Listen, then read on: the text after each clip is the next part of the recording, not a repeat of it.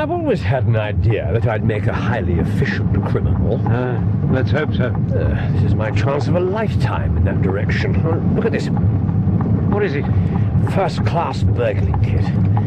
Nickel-plated jemmy, diamond-tipped glass cutter, adaptable keys. Yes, every modern improvement which the march of civilization demands. You, uh, you brought the dark lantern. Yes. And these. Oh, Yeah. Yes. Masks. I made them out of black silk. Oh. oh, I see you have a, a strong natural turn for this sort of thing yourself. Yes, well done. You see, not a glimmer of light in the windows. Oh, yes, everything's going splendidly. Good. What about the dog? Oh, uh, Aggie, uh, that's my fiancée, would have chained it up hmm, to give me a clear run at her room. Good Now, God. save the scruples for later, Doctor. Besides, she's doomed to disappointment. Now, that's Milverton's bedroom, next door to the study, where the safe is. You're sure he'll be asleep? Yes, and impossible to wake, according to Aggie. Yes, it's a standing joke in the servants' hall. Now, that door leads straight into the study. Uh, It'll be locked and bolted. Too noisy to open. What then? Around the side. Follow me.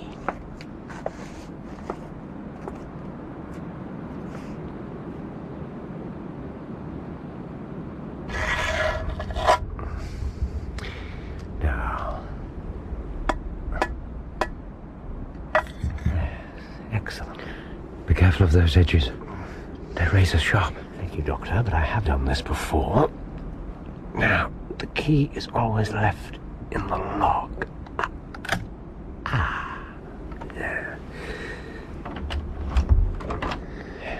So, from this moment on, we're criminals. Actually, we've been criminals from the time we walked through the gates, entry with intent to burgle. When I put my hand through the glass, the offence changed to burglary proper. Section 25 of the Larceny Act. Maximum punishment, life imprisonment. Thank you very much for the information. You're welcome. Now, I suggest we leave the technical discussion until after we're finished. It's pitch black. I'll light the No, lantern. no, not until we're in the study. Now, I know the way. Give me your hand. Here. That's very good. Ready? Come then. To work. This is the door to his bedroom. Right. And then. Yes, the study. Locked. No. No, no, wait, wait, wait. You hear anything? Nothing. All right. Right, very well. Good grief.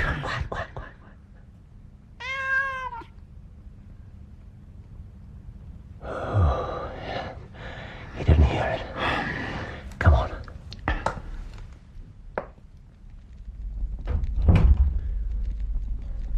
Why is the fire still burning? I don't know.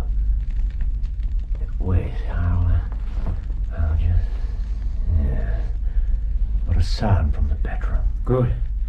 I'll, uh, I'll unlock the garden door. Secure our retreat. Right, good man, good man. And I'll just. Uh, shimmy. Holmes? Holmes, What? What? What? it was unlocked all the time. We could have walked straight in. I don't like this. Uh, So we've no time to lose. Um, can I do anything? Yeah, yeah, yeah, stand by the door. If you hear anyone coming, lock it, and we can get away through the house. Right. If someone comes the other way, um. Uh, Yes. Well, we can get out to the garden if the job's done, uh, or, um.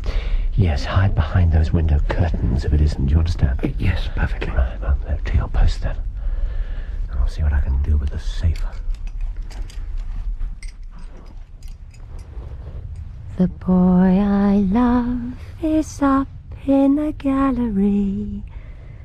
The boy I love is looking down at me. There he is, can't you see?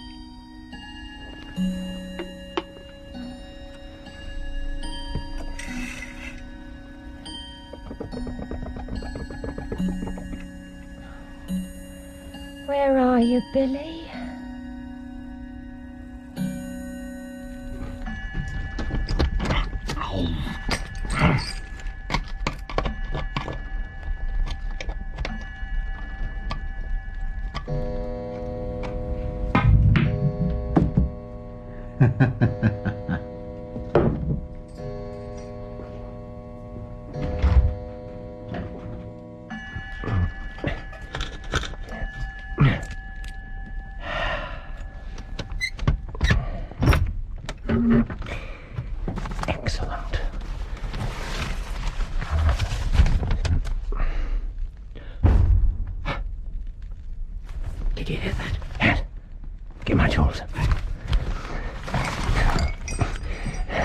That's everything back.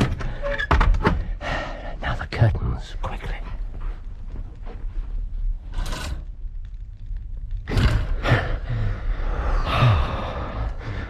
A servant? I don't think so. Milverton? You get everything. Yes. Perhaps he's not coming in here. Careful. I'll be able to see if the handle turns. Holmes. What? The door of the safe. It isn't shut properly. Damn. I'll do it. No. No. What is it? I can smell his cigar.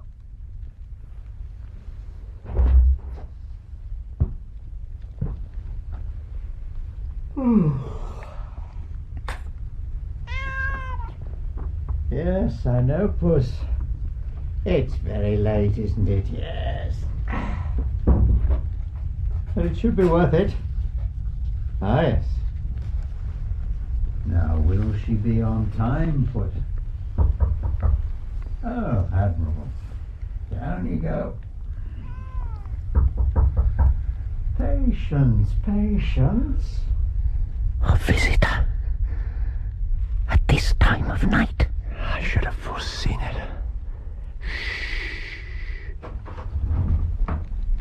Come in, come in, my dear. Oh, what a terrible night, don't you agree? Well, I must say I approve of the veil. I wish all my uh, suppliers were so cautious. Well, my dear, you've made me lose a good night's rest. You really couldn't come at any other time, eh? Hmm? No, sir. Yes, well, I dare say the Countess is a harsh mistress. Well, you have your chance to get level now. Yes. bless the girl. What are you shivering about? Pull yourself together. Now, let's get down to business. Uh, you say that you have five letters which compromise the Countess d'Albert. You want to sell them, I want to buy them. So far, so good. It only remains to fix the price. Great heavens. Oh, well. Is it you? The woman whose life you have ruined. Ah, you are so very obstinate. Why did you drive me to such extremities? I assure you I wouldn't hurt a fly of my own accord, but every man has his business. What was I to do? I put the price well within your means. You wouldn't pay. So you sent the letter to my husband, and he broke his heart and died. Oh, pray accept my deepest condolences. You unspeakable hypocrite. Don't imagine that you can bully me. You will ruin no more lives as you've ruined mine. You will wring no more hearts as you've wrung mine. What are you doing? Freeing the world of a poisonous thing. No, no. My God, now Watson. I might not be too late. No.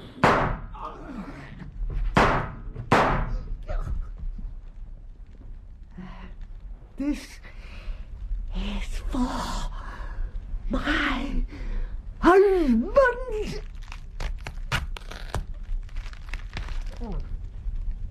Good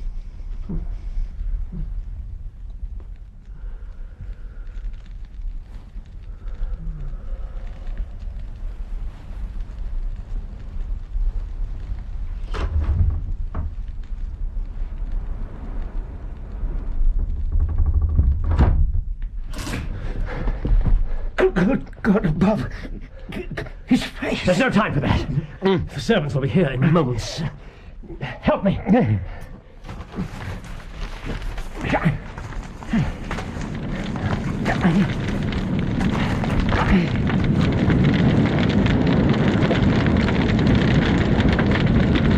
After burning all of the victim's private papers, Ah.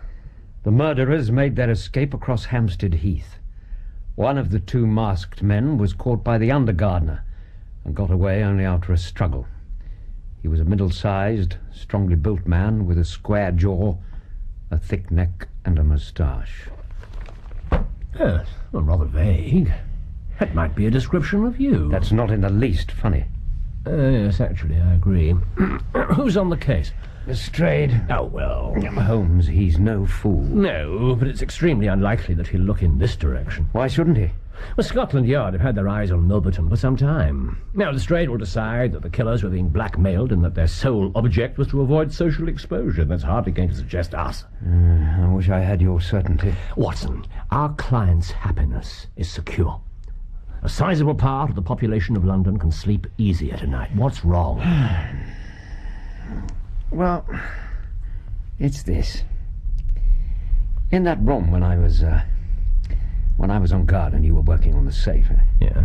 I, I don't think I've ever been as thrilled. Not once. Not in all the times we were on the right side of the law rather than the wrong. I don't know. I, uh, I rejoiced in it. Yes. Yes, it's a powerful drug. And besides, our cause was right. It was a, a chivalrous mission. Yes, yes, of course. What happened then was none of our affair. Well, how can you say that? We stood and watched while a murder was committed. Could you have prevented it? Perhaps. I don't think so. Watson, what we achieved would have put Milverton out of action for a year, or perhaps less. Instead of which... Uh, there must have been another way. No, no. There are some crimes which the law can't touch. And you believe in private revenge? I believe in justice.